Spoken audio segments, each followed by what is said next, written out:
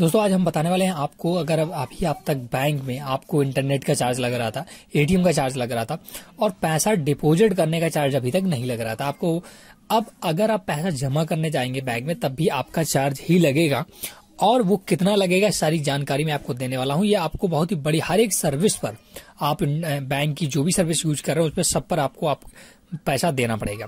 ये बैंकों की एक चेतावनी है।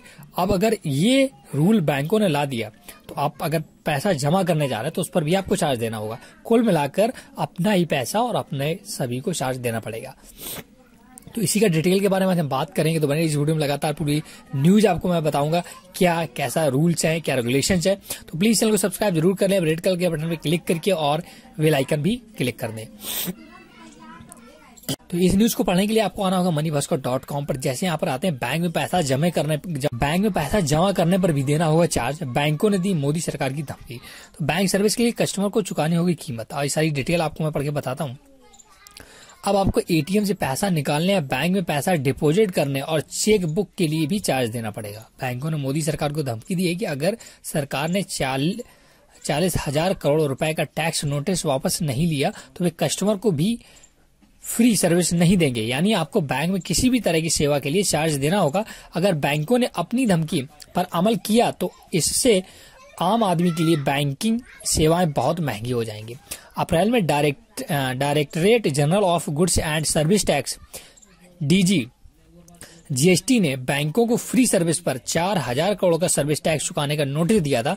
इस मामले पर वित्त मंत्रालय और बैंकों के बीच बातचीत हो चुकी है, लेकिन अब तक इस मसले पर समाधान नहीं हुआ है। वहीं बैंकों का कहना है कि अगर उनको फ्री सेवाओं पर सर्विस टैक्स देना पड़ा तो वे कस्टमर को भी कोई भी फ्री में सर्विस नहीं देंगे। हिंदू बिज़नेस लाइन की एक रिपोर्ट के मुताबिक अब यह मामला प्रधानमंत्री कार्यालय तक पहुँच गया है। प्रधानमंत्री कार्यालय बैंकों और वित्त मंत्रालयों के अधिकारियों के साथ मिलकर इस मामले पर समाधान करने का प्रयास करेंगे। बैंकों के इन फ्री सर्विस पर पड़ेगा असर।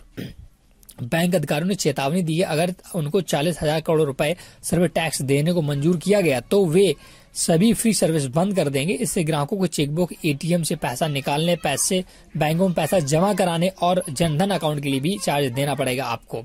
सरकार निकालेगी कोई ना कोई रास्ता। तो ये यहाँ पे सरकार कुछ न कुछ प्रयास ज़रूर करेगी, लेकिन मिनिमम अकाउंट बैलेंस चार्ज को लेकर बैंकों को पहले से हो रही है आलोचना। जो मिनिमम अकाउंट का भी आपने पता होगा, अगर आप कम से कम पैसा रख रहे हैं अपने अकाउंट में तो उसके लिए भी चार्ज आप देना पड़ रहा है। एक हज़ार से कम अगर ग्रामीण है तो एक हज़ार से कम अगर आपके अकाउंट में है तो आपको पैसा देना पड़ रहा है, उसका बैंक चार्ज काट रही है ना।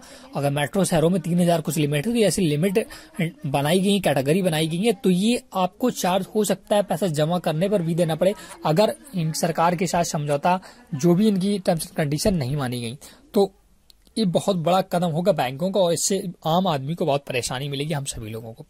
तो मैंने सोचा आप लोग इन्फॉर्म ज़रूर कर दूँ, क्योंकि इंपॉर्टेंट न्यूज़ सभी के लिए क्योंकि अकाउंट सभी के बैंकों में तो प्लीज़ इस वीडियो को ज़्यादा से ज़्यादा लाइक और शेयर करें, जिसमें लोगों तक तो पहुँच सके और कुछ ना कुछ इसके लिए सरकार सोचे। तो प्लीज़ इस वीडियो को शेयर ज़रूर करें और अपने चैनल को सब्सक्राइब करना बिल्कुल न भूलिएगा। थैंक्स